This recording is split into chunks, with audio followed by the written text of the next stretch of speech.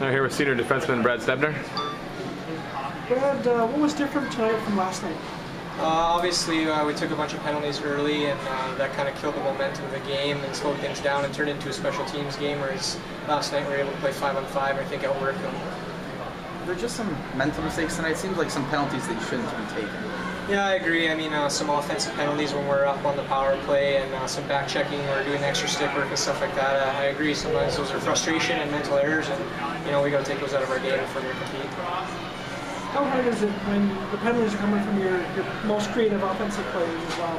Uh, yeah, I mean, we talked about it after the game. It's, it's, it's frustrating. We obviously need those guys out there uh, scoring goals and uh, making a difference in the game. And you know, I, understand sometimes when things aren't going their way, they get a little bit frustrated and stuff like that. But we got to be a little bit uh, mentally more tough and uh, stick with it. Like you said, we need those guys on the ice more than anything. So.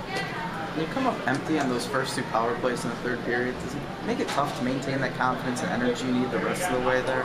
Yeah, I mean, obviously with 20 minutes, you uh, you know you're running out of time, and with two penalties early, uh, you know we have a feeling uh, you got to bury here and turn the game and get the momentum. But you know, obviously we try to stick with and keep going. But yeah, those are uh, those are obviously opportunities missed. We need to we need to capitalize. Uh, you know, let's change the game at that time. What do you take from this moving forward?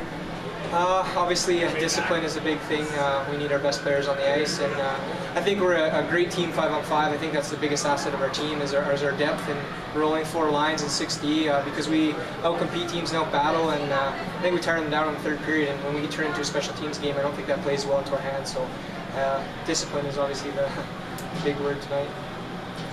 Thanks, Brad.